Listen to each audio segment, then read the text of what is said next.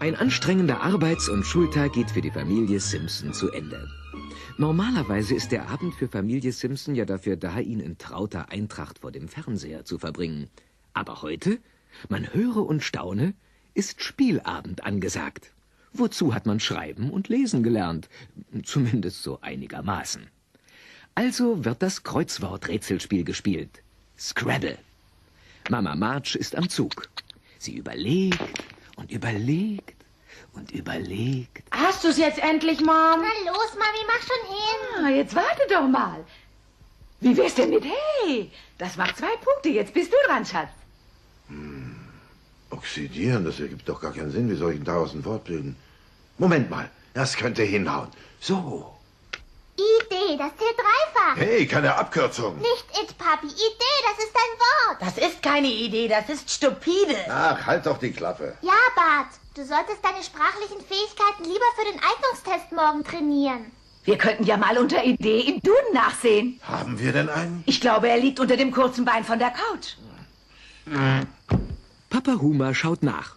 Und richtig, da liegt der Duden als Couchstütze. Huma reicht den Duden Lisa und die liest vor. Also, es gibt Idee und it. In der Genetik werden die Erbeinheiten als it bezeichnet. Na, so ein Schlaukopf. Ich bin dran. Quitschibo. K-W-Y-J-I-B-O. 22 Punkte. Und das Ganze dann nochmal drei. Plus 50 Punkte, weil ich fertig bin.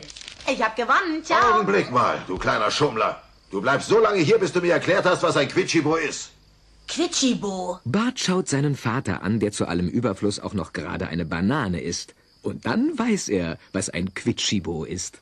Ähm, ein dicker, fetter, blöder nordamerikanischer Affe, der die Haare verliert. Und schnell die Geduld. Hier zeige ich gleich einen dicken, fetten, blöden Affen. oh, oh, ein Quitschibo ist aufgebrochen. Soweit zum trauten Familienabend der Simpsons. Ein ganz normaler Abend. Und auch der nächste Tag ist ganz normal. Denn ganz normal ist, dass Bart in der großen Schulpause ein hübsches Porträt von Rektor Skinner auf die Schulwand sprayt. Du da! Kein Kaugummi auf dem Schulgelände in die Mülltonne damit. Herr Rektor, Herr Rektor, einer meiner Mitschüler ist gerade dabei, Schuleigentum zu beschädigen. So was, wo denn? Achtung, Bart, der alte Skinner kommt. Ah, ja! Hm. Am besten sagt ihr mir gleich, wer das gewesen ist. Jedenfalls kein Ass in Rechtschreibung. Die korrekte Schreibweise von Wiener ist W-I-E-N-E-R, da E-I nach der dritten Lautverschiebung stets Ei ausgesprochen wird. Dafür gibt's eine Eins. Und jetzt zeigt mal eure Hände her.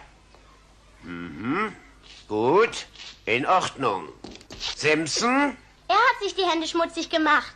Simpson, ich glaube, wir haben wieder einiges zu besprechen. Selbe Zeit, selber Ort. Ja, gleich nach der Schule in meinem Büro.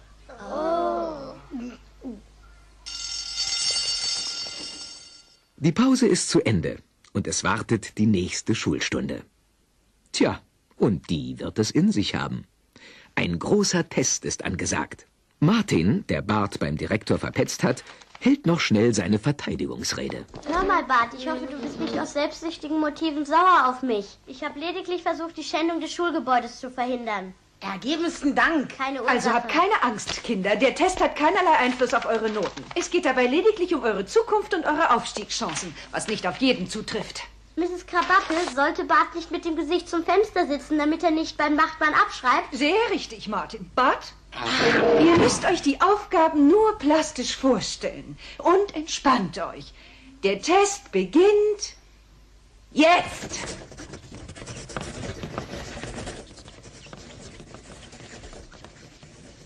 Um 7.30 Uhr verlässt ein 60 Meilen pro Stunde fahrender Expresszug Santa Fe mit dem 520 Meilen entfernten Phoenix als Ziel. Stell es dir bildlich vor, Bart. Und Bart stellt es sich bildlich vor. Mit 30 Meilen pro Stunde und 40 Passagieren Phoenix in Richtung Santa Fe.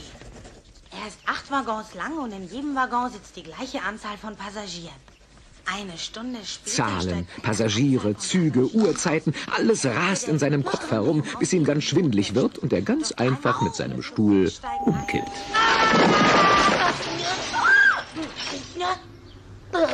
Bart, es gibt in dieser Klasse auch Schüler, die die Chance haben, den Test zu bestehen. Hör damit auf, sie zu stören. Stört mich nicht, Mrs. Krabappel. Ich bin schon fertig. Darf ich jetzt rausgehen und ein wenig lesen? Aber natürlich, Martin. Kaum ist Martin, der mit Abstand Klassenbeste, draußen, nutzt Bart seine Chance. Als die Klassenlehrerin ein wenig aus dem Fenster schaut, schnappt Bart sich Martins Test und tauscht die Namen darauf aus. Martins Test ist jetzt seiner. Was soll da noch passieren? Ihr habt noch 20 Minuten, Kinder. Das läuft ja wie geschmiert. Der Test ist überstanden. Und jetzt folgt nur noch das Gespräch beim Herrn Direktor. Mama March und Papa Humer sind natürlich auch dazu geladen. Mr. und Mrs. Simpson sind da. Ich lasse bitten. Da wären wir wieder, Herr Direktor. Was hat er diesmal angestellt, der Blödmann? Er hat sich heute Morgen aufs Gröbste am Schuleigentum vergangen. Wir schätzen den Schaden auf rund 75 Dollar und finden es offen gesagt unfair, dass andere Steuerzahler dafür aufkommen sollen. Ein mieses System, aber was soll man machen? Aber nein, das kann er doch nicht meinen. Meine Frau glaubt, Sie wollen mich zum Zahlen verdonnern. So kann man es auch sagen. Oh. An sich können wir über so etwas schon mal hinwegsehen. Aber es handelt sich ja hier nicht um einen Einzelfall. Barts Verhalten ist äh, aufsässig. Er fehlt häufig beim Unterricht und bringt dann den Lehrern geradezu lächerliche Entschuldigungsschreiben mit plumpe, kindliche Fälschungen verglichen mit... Äh, nun, jedenfalls habe ich den festen Entschluss gefasst. Mr. Skinner, Dr. Pryor möchte Sie sprechen. Er sagt, es sei dringend. Er soll reinkommen. Mr. und Mrs. Simpson, das hier ist unser Schulpsychiater, Dr. J. Logan Pryor. Wozu brauchen wir einen Psychiater? Wir wissen doch, dass er beknackt ist. Aber ganz im Gegenteil. Ich muss sagen, wir waren selbst ganz überrascht. Unser Intelligenztest, den wir heute durchgeführt haben, hat erwiesen, dass der kleine Bart hier ein mehr als hochbegabtes Kind ist. Ein was? Ihr Sohn ist ein Genie, Mr. Simpson. Bart? Dieser Knallkopf? Unmöglich. Doch, doch, wir sind ganz sicher. Das Kind soll seinen eigenen IQ jetzt noch nicht erfahren, aber ich werde Ihnen diese erstaunliche Zahl hier mal aufschreiben. 912? Äh, nein, Sie müssen es umdrehen. Es heißt 216. Das ist aber immer noch genial. Sag mal, Bart, langweilst du dich eigentlich häufig in der Schule? Na und wie? Bist du manchmal frustriert, Bart? Ununterbrochen, Sir. Träumst du manchmal davon, die Schule zu verlassen und deine intellektuelle Entwicklung auf einem anderen Niveau fortzusetzen? Sagen Sie, können Sie etwa Gedanken lesen? Aha. Sehen Sie, wenn ein Kind mit Barts Intellekt gezwungen wird, sich dem Lerntempo eines normalen Schülers anzupassen, wird er sich mit solchen Ausbrüchen abreagieren. Sollten wir den Test nicht wiederholen? Nein, wir sollten ihn auf eine andere Schule schicken. Ja, noch besser. Bart, wir möchten dich gern auf eine Schule schicken, die nicht mit Noten arbeitet, mit Vorschriften, Klassenbüchern und Klingelzeichen. Eine Schule ohne Mauern, wo du so viel oder so wenig Hausaufgaben machst, wie du es für richtig hältst. Klingt das akzeptabel? Melden Sie mich gleich an. Ausgezeichnet. Hier sind alle nötigen Informationen. Komm so gegen neun vorbei. Mr. und Mrs. Simpson, ich darf Ihnen nochmals gratulieren. Ich glaube, wir haben alle einen Grund zum Feiern. Ach, das will mir einfach nicht in den Kopf. Mein Sohn ein Genie. Wie kann sowas passieren? Nun, äh, übermäßige Intelligenz ist normalerweise das Ergebnis von Erbgut und sozialem Umfeld. Das heißt, manchmal bleibt es absolut unerklärlich. Der große Tag ist da. Familie Simpson sitzt beim Frühstück und wartet darauf, dass Bart seinen ersten Tag in der neuen Schule beginnt. Alle sind geschniegelt und gestriegelt. Und noch einmal fährt Mama Marge Bart mit der Bürste übers Haar. Hör schon auf, Mom. Du siehst sehr intelligent aus, Schatz. So ein Quatsch. Hier habe ich noch einen Schlips für dich. Jeder weiß doch, dass Wunderkinder Schlipse tragen. Du wirkst meine Kreativität ab. Entschuldigung. Bart, heute ist ein wichtiger Tag für dich. Warum isst du denn nicht etwas Nahrhafteres? Unsinn, Marsch. Frosty Krusty Flakes hat er doch schon immer in sich reingeschaufelt. Es könnte ja an einem der chemischen Zusätze hier liegen, dass er so klug ist. Lisa, vielleicht sollten wir dich damit füttern. Hummer. Ich meine ja nur, warum sollten wir nicht zwei Genies in der Familie haben? Dann haben wir einen Ersatz, wenn Barts Hirn explodiert. Mir ist Schnuppe, was dieser blöde Test ergeben hat. Doof bleibt doof. Das mag schon sein, aber ab heute schiebt der Dove eine ruhige Kugel. Na, wollen mal abwarten, wie ruhig die Kugel sein wird, die Bart zu schieben gedenkt. Papa Humer hat Bart bis vors Klassenzimmer gebracht und gibt ihm zum Abschied, in Anbetracht dieser ehrwürdigen Stunde, einen Kuss. Du hast mich geküsst? Ein Vater wird doch wohl noch seinen Sohn küssen dürfen. Oder etwa nicht? Es geh schon, Bart. Und pass gut auf. Denn wenn du das tust, erreichst du eines Tages vielleicht etwas, wovon wir Simpsons seit Generationen geträumt haben.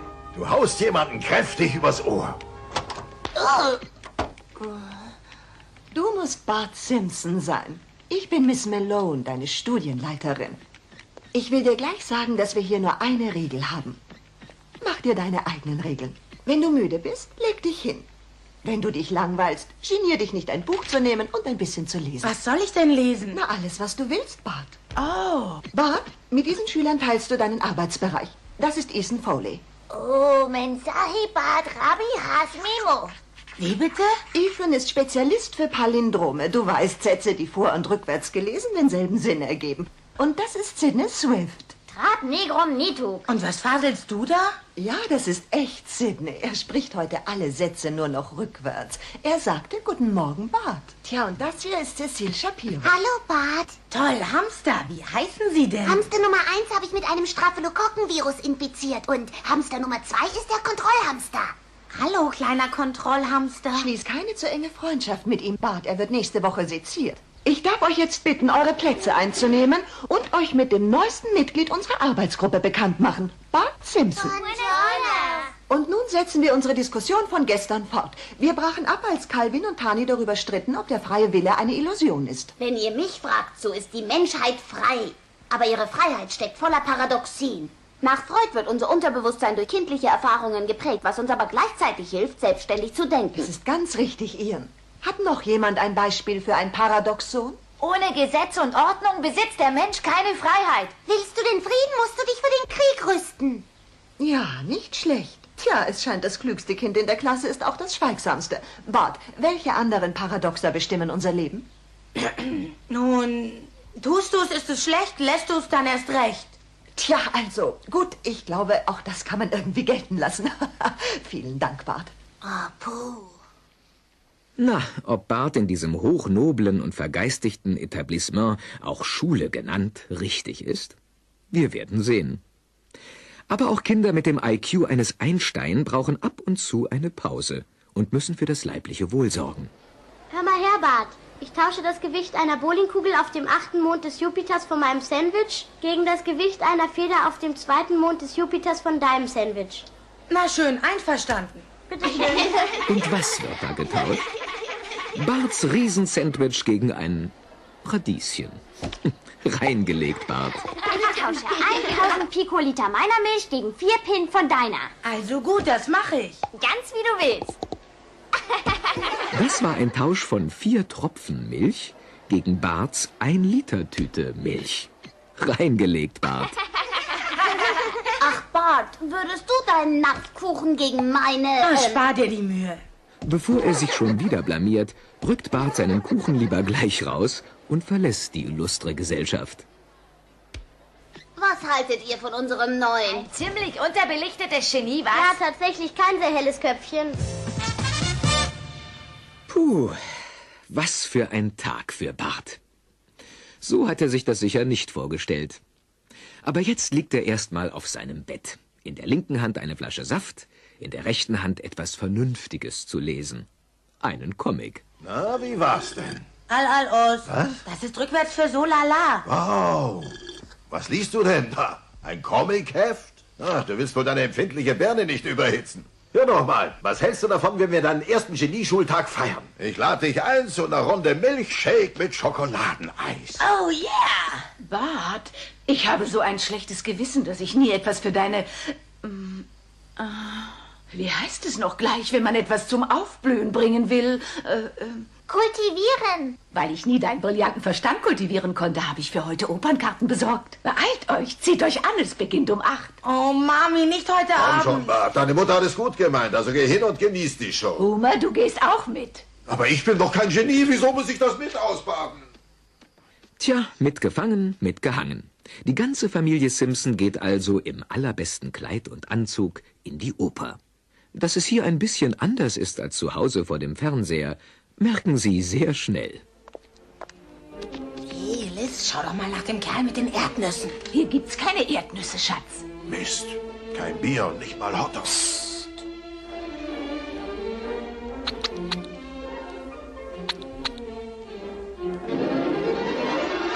Auf in den Kampf, Torero, hast du auch keine Lust und bist voller Frust. Ha? Hör sofort mit dem Unsinn auf und du, Humor, ermutige ihn nicht noch. Mart, schüchter den Jungen nicht ein. Wir sollen ihn doch ermutigen. Wer ist denn der Dickarsch da? Das ist der Stierkämpfer. Bei einem so fetten Ziel kann der Stier ja gar nicht daneben stoßen.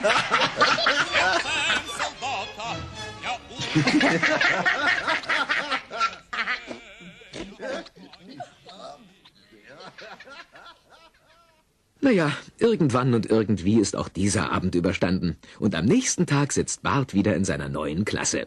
Auf ein neues. Also y gleich r hoch 3 durch 3. Und wenn ihr den Veränderungsgrad dieser Kurve richtig berechnet, werdet ihr mit Sicherheit eine angenehme Überraschung erleben. Na, was ist Bart? dy abgeleitet ist gleich 3r im Quadrat dr hoch 3 oder r Quadrat hoch dr oder rdrr. Immer wieder, immer wichtig, denke, rede, rechne richtig. Doch, ja. Jetzt reicht's, Bart. Da war ja seine alte Schule direkt ein Erholungsheim dagegen. Also nix wie weg von hier und nach Hause. Doch da wartet Mama March mit der nächsten Überraschung. Ein weiterer Kulturabend ist angesagt. Dem armen Bart wird fast übel.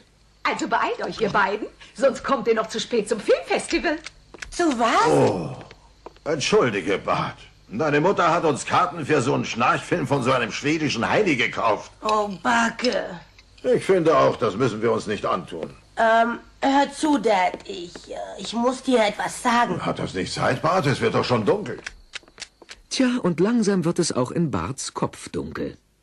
Er kann und mag nicht mehr. Doch unerbittlich naht der nächste Tag. In Barts Genieklasse ist Chemie angesagt. Ich habe noch immer keinen Laborpartner für dich, Bart. Wenn sich nicht bald ein Freiwilliger meldet, muss ich jemanden bestimmen. Was wird das? Das sieht ja gefährlich aus. Naja, Miss Malone, diese Sache ist ziemlich top secret. Na schön, lass dich nicht stören, aber du weißt, was passiert, wenn du Säure und Basen mischst, nicht wahr? Klar weiß ich das. Und wir wissen's jetzt auch. Nach den Aufräumarbeiten beginnt auch die Schulleitung sich jetzt doch so langsam ein paar Gedanken zu machen. Also, Bart, wir möchten betonen, dass niemand deswegen verärgert ist. Wir, wir machen uns nur Sorgen. Wenn ein junger Mann mit einem IQ von 216 ein einfaches Experiment nicht zustande bekommt, dann braucht man keinen Bart Simpson, um zu merken, dass etwas nicht stimmt. Ganz ehrlich, kommt die Klasse für dich zu langsam voran? Oh, Backe Ivo. Also, was können wir dann für dich tun? Ich möchte in meine alte Klasse zurück. Aber Bart, hast du die Langeweile vergessen? Die Monotonie? Das intellektuelle Vakuum? Aber nein, wissen Sie irgendwie, ähm, ich dachte nur, ich könnte inkognito bleiben. Inkognito? Bart, das klingt interessant. Sprich weiter. Naja, ich könnte so tun, als wäre ich ein normales, dummes Kind. Verstehen Sie? Die Sachen studieren, die die miteinander machen. Rauszukriegen, wie es bei denen tickt. Ah ja, wie Jane Goodall und die Schimpansen. Genau. Hm, das ist ja hochinteressant, Bart. Du schreibst dein Exposé, während ich mit Direktor Skinner spreche. Exposé? Ja, umreiße dein Projekt, was du zu erreichen hoffst und was du dafür alles benötigst. Ach, das meinen Sie. Direktor Prayer geht telefonieren und Bart beginnt sein Exposé zu formulieren. Ganz einfach ist es nicht. Mein Exposé von Bart Simpson. Ich möchte so tun, als wäre ich ein normales, dummes Kind. Dadurch hoffe ich, dass es mir... Oh nein. Dazu werde ich... Ich... m, benötigen... Oh, oh nein. Mein Geständnis von Bart Simpson. Ich bin ein dummes, normales Kind. Ich habe bei meinem Intelligenztest geschummelt. Ach, du bist schon fertig? Direktor Skinner ist sehr interessiert, was du... was du... Hm. Und übrigens, Geständnis schreibt sich nicht mit SCH.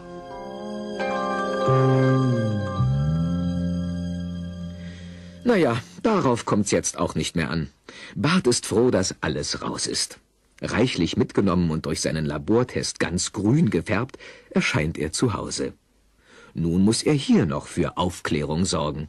Hey, du siehst ja toll aus. Bart, was ist denn passiert? Wir haben in Chemie ein bisschen herumexperimentiert. Naja, sowas kannst du mit ein paar Tropfen Terpentin wieder rauskriegen. Also los, gehen wir. Lass bloß den Kopf nicht hängen. Ich wette, Einstein hat sich auch mehrmals verfärbt, bevor er dann seine Glühbirne erfunden hat. Dad, ich muss dir etwas sagen. Und ich hoffe, du gehst nicht gleich hoch. Was ist denn los? Ich bin gar kein Genie. Was? Ich, ich habe beim Intelligenztest geschummelt. Es tut mir leid. Aber ich möchte dir trotzdem sagen, die letzten Wochen waren einfach super. Wir beide haben so viel zusammen gemacht. Du hast mir bei vielem geholfen und wir haben uns doch ganz prima verstanden, findest du nicht? Ich hab dich richtig gern, Daddy. Und ich glaube, wenn uns etwas zusammengebracht hat, kann es eigentlich nicht so schlimm gewesen sein, oder?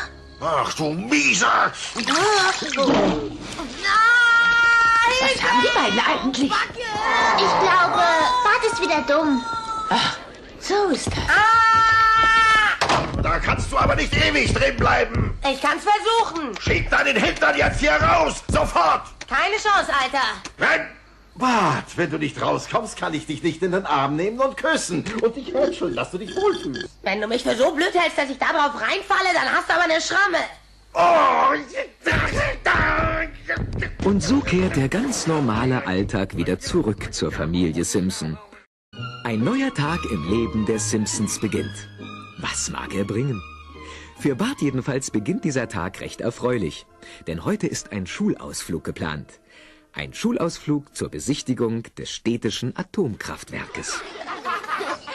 Vor allem möchte ich nicht, dass unser Ausflug wieder so endet wie der letzte Besuch im Staatsgefängnis von Springfield. Ich erwarte von euch allen tadelloses Benehmen, besonders von dir, Bart Simpson.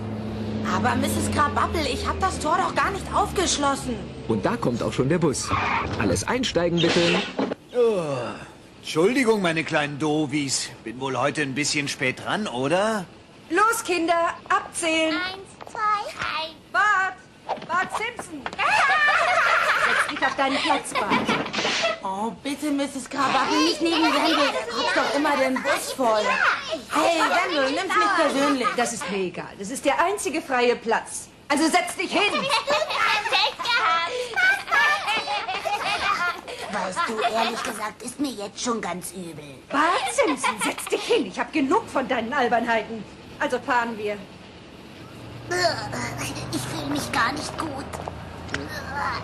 Oh, Mrs. Krabappel, Mrs. Krabappel! Wenn ich noch ein einziges Wort von dir höre, lass ich dich zur Strafe vor der ganzen Klasse singen. Ich rapp euch was vor. Oh nein, du singst uns am Brunnen vor dem Tore. Alle neun Strophen. Bloß das nicht. Ich glaube schon, dass du singen wirst, Bart Ja, Simpson. Bart Simpson, wir sorgen dafür, dass du singst. Und die beiden, Sherry und Terry, sorgen wirklich dafür. Wie auf ein Kommando geben die beiden Bart einen dicken Kuss auf die beiden Backen. Igitt. Jetzt reicht's, Bart. Warum kannst du dich nicht benehmen wie, äh, äh, Wie wir, Mrs. Krabappel? wie Sherry und Terry? Nimm dir an ihnen ein Beispiel.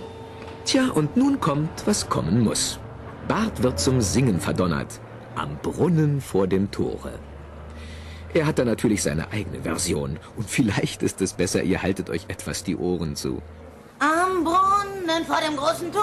Uff, da steht so ein affengeiler Lindenbaum, oh yeah. Ich träumte in seinem Schatten so manchen süßen Traum, so manchen süßen Schon Traum unter diesem affengeilen Lindenbaum, oh yeah, oh Hör yeah. auf! Hey Wendel, diesmal hast du es ja gepackt, Alter.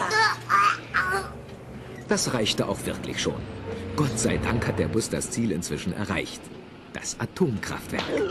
Alles stürmt aus dem Bus, rein in den Vorlesungssaal und die Ohren gespitzt. Denn erstmal gibt es einen kleinen Vortrag. Und so nutzt unser Kraftwerk die Energie des Atoms aus, damit wir genügend Strom erzeugen für so wichtige Dinge wie den elektrischen Fingernageltrockner oder die Zuckerwattekühlanlage. Und jetzt werden wir noch mehr über Atomkraft erfahren. Äh, Film ab! Wenn man über Atomkraft spricht, fällt den meisten Leuten nur das ein. Aber wenn wir jetzt von Atomkraft sprechen, meinen wir das hier. Was ist Atomkraft überhaupt? Ich weiß das auch nicht. Aber ich kenne jemanden, der euch das genau erklären kann. Der lustige Kernspalt. Hallo, meine lieben Stromverschwender. Ich bin der lustige Spalt in einem Kern, euer zuverlässiger Führer durch die aufregende Welt der Atomkraft. Hier sind drei Stäbchen aus Uran 335. Na Jungs, wie läuft's denn so mit dem Brennen? Wir fühlen uns auch Ihr seht aber auch heiß Klar aus. sind wir heiß. Wir sind radioaktiv. Tja, wie wär's dann mit einem Sprung ins kühle Nass? Oh ja, los. Die Brennstäbchen machen das Wasser schnell so heiß, dass es kocht. Autsch. Au, au, au. Ist das heiß. Durch den Dampf werden Turbinen angetrieben, die Energie erzeugen. Hm. Ja, was ist denn das? Sieht ganz danach aus, als hätten wir ein bisschen Atommüll. Nur keine Sorge, ich werde ihn irgendwo hin tun, wo man ihn in Millionen Jahren nicht findet. So, jetzt habe ich euch die ganze Wahrheit über Atomkraft erzählt. Im Grunde ist sie ganz harmlos. Also macht euch nur keine Sorgen. Und jetzt gehen wir zum vergnüglichen Teil über. Große und schwere Stahltore öffnen und schließen sich. Die Klasse macht sich auf zur Besichtigung des Inneren des Atomkraftwerkes, in dem ja auch Barts Vater Huma arbeitet. Was macht er eigentlich im Augenblick? Ach ja, da sehen wir ihn ja. Die Füße auf der Motorhaube des Elektrowagens. In der linken Hand einen Becher Kaffee, in der rechten einen Schmalzkringel. Also, den möchte ich sehen, der den Unterschied herausfindet zwischen tiefgekühlten und frisch gebackenen Kringeln. Hey, mein Sohn müsste jeden Moment mit seiner Klasse hier sein. Sind die Kinder schon durch? Ach komm, Simpson, wenn die den Kindern zeigen wollten, wie du auf deinem Arsch sitzt und dich vollstopfst, würden sie eine Führung bei dir zu Hause veranstalten. Du hast recht, ich werde mal nachsehen, was los ist. Platz da, ich komme. Hey, da ist ja Daddy. Hallo, Daddy. Hey, Huma. Huhu, ich bin hier oben. Ach, hallo, mein Sohn. Typisch Huma.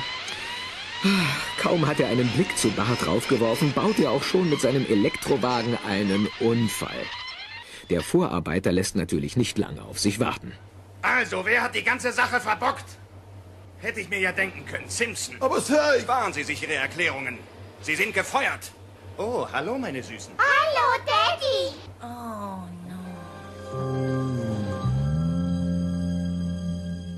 Gefeuert. Fristlos. Das war's wohl für Huma. Zu Hause beim Abendessen werden Stellenanzeigen gewälzt. Da muss doch was zu finden sein.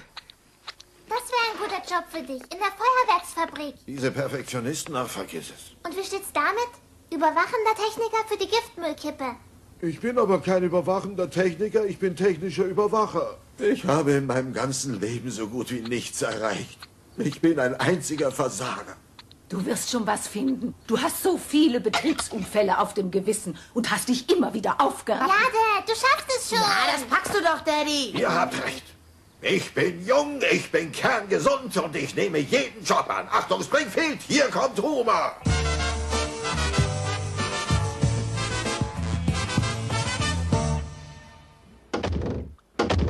Das waren die Türen der Personalbüros, bei denen sich Huma einen Job erhoffte. Fehlanzeige. Huma ist frustriert.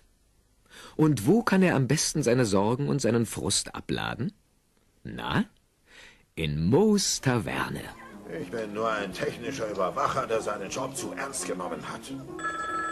Moos Taverne? Ich hätte gern Herrn Schnellsch gesprochen. Wen?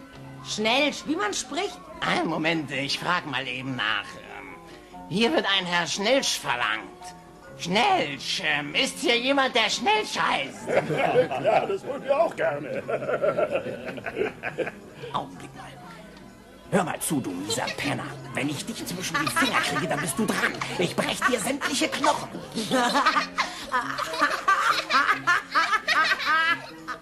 Irgendwann erwischst du den Kerl, Mo. Tja, ich weiß nicht. Der ist schwer zu schnappen. Der ändert dauernd seinen Namen. Mo, ich glaube, ich nehme noch einen. Hoppla. Ich bin etwas knapp bei Kasse. Kannst du dieses eine Mal anschreiben? Nein, das geht nicht. Und warum nicht? Ich finde, nach all den Jahren bist du mir eine Erklärung schuldig. Ich glaube nicht, dass du je wieder einen Job bekommst und deine Schulden bezahlen kannst. Oh. Wir können ja trotzdem Freunde bleiben. Es geht aber auch alles schief. So ein Mist. Huma schleicht nach Hause. Er hat keine Ahnung, was er jetzt mit seiner reichlich bemessenen Zeit anfangen soll. Alles schläft, außer dem Fernseher. Also wird der ihm ein wenig die Zeit vertreiben. Einschalten, und schon hat er eine Sendung erwischt, die ihm auf den Leib geschrieben ist. Zeittotschlag. Die Sendung für den Arbeitslosen meldet sich gleich wieder mit tollen Tipps. Aber zunächst die Werbung. Arbeitslos? Ohne Job? Nüchtern? Sie haben den ganzen Tag zu Hause rumgebläht, aber jetzt ist es Zeit für ein Duff. Duff, das Bier, das die Zeit verfliegen lässt. Oh, kriegt nie genug, bitte noch einen Krug Duff Bier. Ja, das ist doch wirklich besser als nichts tun. Hier muss doch irgendwo ein Bier herumstehen. Ah, vielleicht da drin. Verdammt, ich muss Kohle haben. Tja, Huma muss Kohle haben, um Bier kaufen zu können, denn im Kühlschrank ist nichts mehr. Aber woher nehmen und nicht stehlen? Stehlen? Da gibt es doch noch Bart. Und der hat ein Sparschwein. Huma, Huma, was machst du dann nur? Oh, nein. Was habe ich nur getan?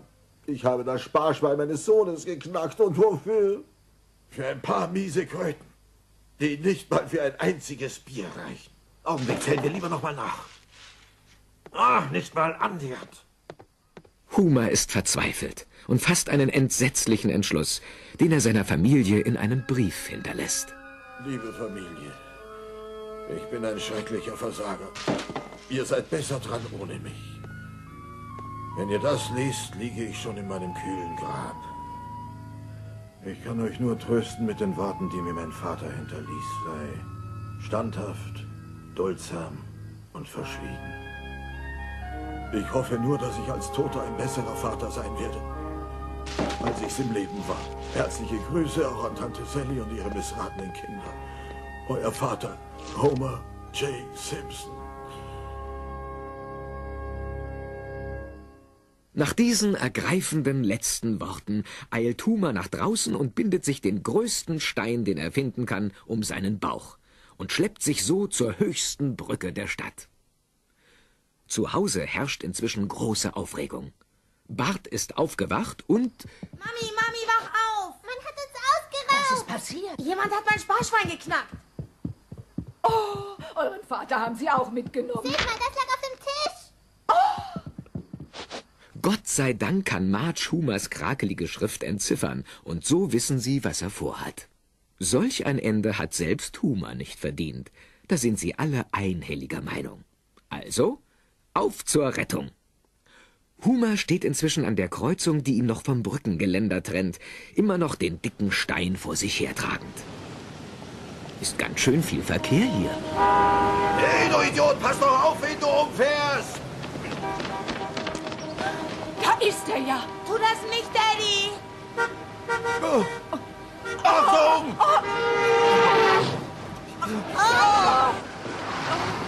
Mann, oh Mann, ist diese Kreuzung gefährlich. Da gehört doch ein Stoppschild hin. Oh, Homer, sag mal, wie konntest du nur daran denken, dich umzubringen? Wir sind stolz auf dich. Ja, Daddy, wir sind Ja. stolz auf dich. Mich umbringen? Das wäre das Letzte, was ich jetzt tun würde. Ich habe eine Aufgabe. Mein Leben hat wieder einen Sinn. Mir ist egal, wer sich mir entgegenstellt. Mir ist egal, gegen wen ich kämpfen muss. Ich werde nicht eher ruhen, bis diese Straße ein Stoppschild bekommt. Na, das hat doch was. Huma ist wieder oben auf. Er hat eine neue Aufgabe. Kein Gedanken mehr an Selbstmord. Huma strahlt. Und mit ihm seine ganze Familie. Tja, und am nächsten Tag sehen wir Huma schon bei der Stadtratssitzung. Mal sehen oder hören, was er vorhat. Und als nächstes berichtet uns Polizeichef Wiggum von seinem Kampf gegen die Graffiti-Schmierereien. Es ist kein Geheimnis, dass unsere schöne Stadt von einem Schmierfinken namens Elbarto heimgesucht wird. Der Polizeizeichner hat ein Phantombild des Beschuldigten angefertigt. Wenn jemand diesen Mann erkennt, sollte er uns sofort Bescheid geben. Das ist ja cool, Mann. So eine richtige Dem Verbrechervisage. möchte ich auch nicht im Dunkeln begegnen. Und äh, nun zum nächsten Punkt. Homer Simpson, hiesiger Einwohner, hat etwas vorzuschlagen. Mr. Simpson? Sei gar nicht aufgeregt. Wir glauben an dich. Meine Damen und Herren, verehrte Stadträte, liebe Kinder und Rentner, die nichts Besseres zu tun haben. Die Gefahr lauert an vielen, vielen Orten. Schon unsere Vorfahren in ihren Höhlen mussten aufpassen, nicht von einem Dinosaurier... kommen Sie zur Sache. Ich finde, wir brauchen an der Ecke D Street und 12. ein Stoppzeichen. Sind alle dafür? Ja. Angenommen, Sitzung geschlossen, Kaffee und belegte Brote in der Halle. Wow, das ging ja schneller, als ich dachte. Mach nur weiter so, Daddy. Du hast es geschafft, Homer. Wenn die glauben, dass ich bei dem Stoppschild Halt mache, dann haben sie sich geschnitten. Huma spricht da ein großes Wort gelassen aus. Nach diesem schnellen Erfolg legt Huma los. Aber richtig. Keine Kreuzung, kein Überweg, den er nicht kontrolliert und beanstandet. Und der Schilderwald in der Stadt nimmt außergewöhnliche Ausmaße an. So langsam wird auch die Presse aufmerksam. Simpson steht für Sicherheit. Dutzende jubeln Homer Simpson zu. Homer Simpson schlägt schon wieder zu. Aufgepasst, hier kommt Homer. Es ist genug, Homer Simpson. Nun habe ich die ganze Gegend mit Schildern vollgepflastert. Was soll ich jetzt tun? Oh, Homer, wir sind so stolz auf dich. Stolz? Worauf? Naja, auf alles. Denk nur an dein Schlaglochschild. Jetzt wird niemand mehr in der Straße von deinen Kleinen überrascht. Ja, ich weiß, du meinst es gut mit mir. Aber im Ernst, ihr wisst doch selbst, wie unwichtig das ist. Denn es gibt eine Gefahr in dieser Stadt, die größer ist als alle Schlaglöcher zusammen. Was für eine denn? Ich meine die vor unserer Nase. Du willst dich doch wohl nicht mit deinen ehemaligen Bossen anlegen. Wow. Ja, mein Daddy ist ein Held. Was hast du ihm gesagt? Ach, nichts. Ist schon gut. Ich werde mal annehmen, du hast das gesagt, was ich verstanden habe. Man höre und staune. Homer ist jetzt sogar dazu bereit, gegen das Atomkraftwerk anzutreten. Und es gelingt ihm sogar schon am nächsten Tag eine Demonstration direkt vor dem Eingangstor des Atomkraftwerkes zu veranstalten. Mr. Burns, der Chef, und sein Sekretär Smithers hören und sehen das natürlich gar nicht gerne. Wir verdanken ihm außerdem die Stolperschwelle, das Schlaglochschild und vor allem das viel umstrittene 30 Kilometer Tempolimit auf der Hauptstraße. Hier ist der Mann, dessen Name gleichbedeutend ist mit Sicherheit für alle Bürger dieser Stadt. Homer Simpson. Vielen Dank. Im Gegensatz zu den meisten von euch bin ich kein armer Irrer. Nur ein ehrlicher, anständiger Amerikaner, der gegen das Unrecht kämpft. Und besonders gegen Stamperei, wo immer sie auftritt. Jetzt hört euch diesen Mann an. Er ist gut, der hat die Menge absolut in der Hand. Mhm. Der könnte direkt Fernsehprediger werden. Wer ist das? Das ist Homer Simpson, Sir. Er hat mal für uns gearbeitet, aber wir haben ihn gefeuert wegen absoluter Unfähigkeit. Da liegt also der Hase im Pfeffer. Schleifen Sie mir diesen Simpson sofort in mein Büro. Aber Mr. Burns. Ich sagte sofort. Und sofort heißt sofort. Sofort! Unser Leben liegt in den Händen von Männern, die keinesfalls klüger sind als ihr oder ich. Die meisten von ihnen sind sogar saublöd. Ich weiß das, weil ich mit ihnen zusammengearbeitet habe. Mit ihnen beim Kegeln war. Und mir ansehen musste, wie sie mich bei Beförderungen immer wieder übergangen haben. Und da sage ich, jetzt reicht es mir. Ach, Simpson. Burns möchte mit Ihnen sprechen, streng vertraulich. Streng vertraulich? Allerdings. Einen Augenblick. Ich bin gleich wieder da.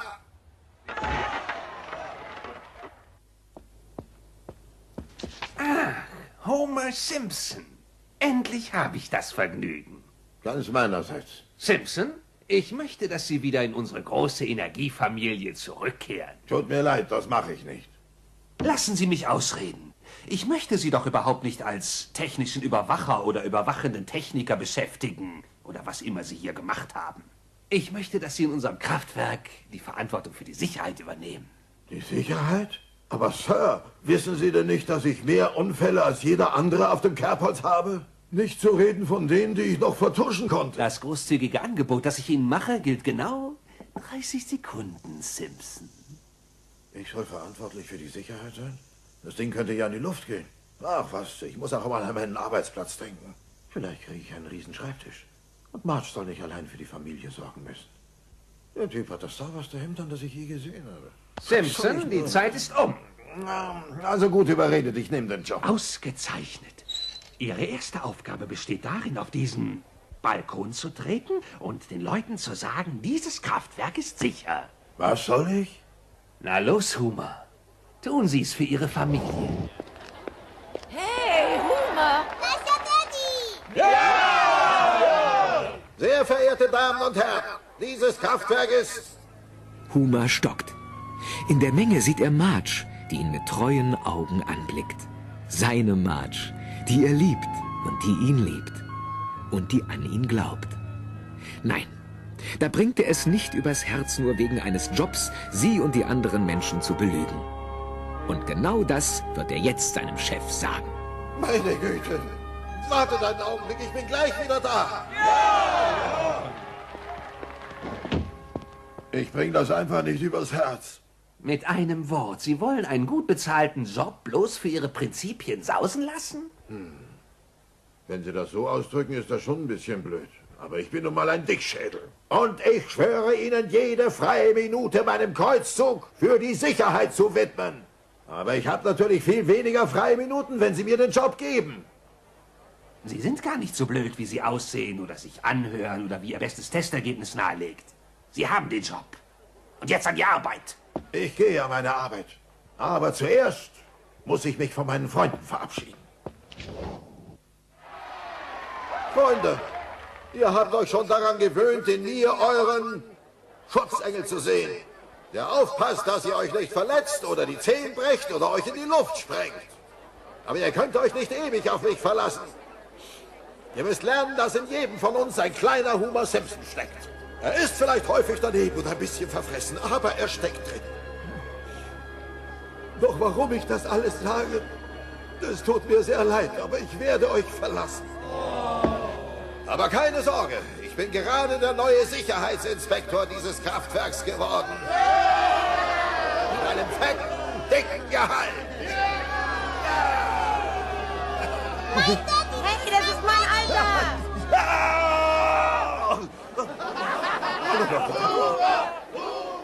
Die Menge ist begeistert. Der Sicherheitsfanatiker Humer als Sicherheitsinspektor im Atomkraftwerk. Das gibt dem Ganzen Sicherheit. Humer hat wieder einen Job. Marge und die Kinder sind glücklich.